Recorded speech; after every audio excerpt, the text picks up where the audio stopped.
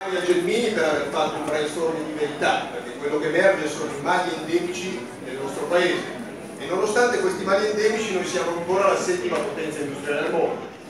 Quindi credo che l'aspetto debba essere legato a quello che hanno fatto emergere i relatori in maniera assolutamente puntuale.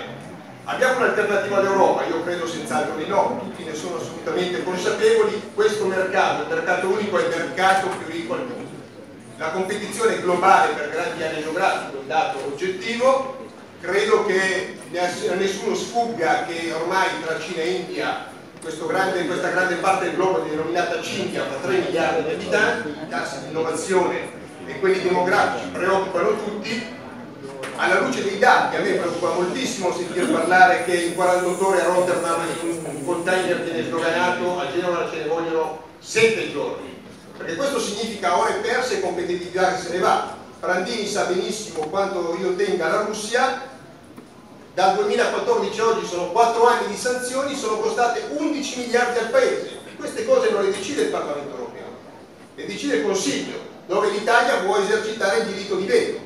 E io credo sia noto a tutti che gli americani hanno spostato l'influenza sul Pacifico non più sull'Atlantico il nostro apporto in termini di politica estera che significa esportazione, significa lavoro, significa fatturato nel Nord Africa, nel Medio Oriente, nella zona euroasiatica è andata a picco.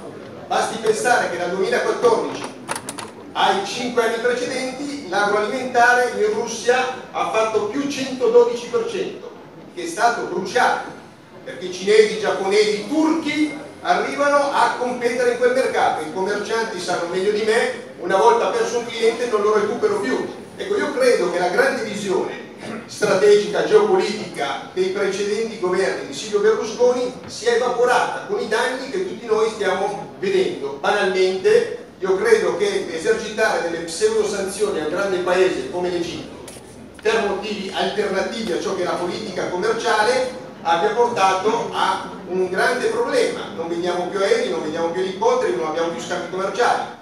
Io penso che mai come in questo momento il nostro paese abbia bisogno di una visione che mi riporta indietro. Io penso a Enrico Mattei.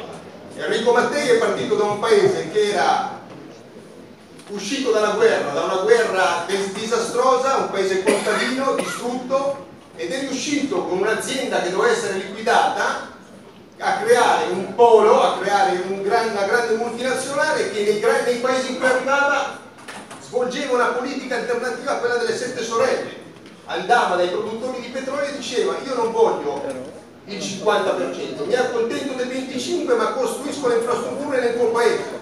Banalmente quello che era stato detto a un despota, a un tiranno, qua ci sono 5 miliardi, qua ci sono 500 imprese italiane. Ecco io credo che noi stiamo pagando una mancanza di politica estera all'interno di un contesto indispensabile come quello dell'Unione Europea e questo pesa sulle nostre aziende molto più di quanto non pesino nell'elenco di quello, di quello che sono le inefficienze storiche che stiamo portando avanti. Noi abbiamo bisogno di più Europa, ma di una presenza italiana più autorevole che la presenza che deve richiamarci a ciò che rappresentiamo, uno dei paesi fondatori di questo straordinario continente, di questo esperimento politico. Ecco, io credo che sia questa la sfida che banalmente tutti noi deputati europei, senza distinzione di colore di partito, quando si tratta degli interessi italiani, portiamo avanti con fermezza l'interesse del Paese all'interno di un contesto dal quale non possiamo prescindere.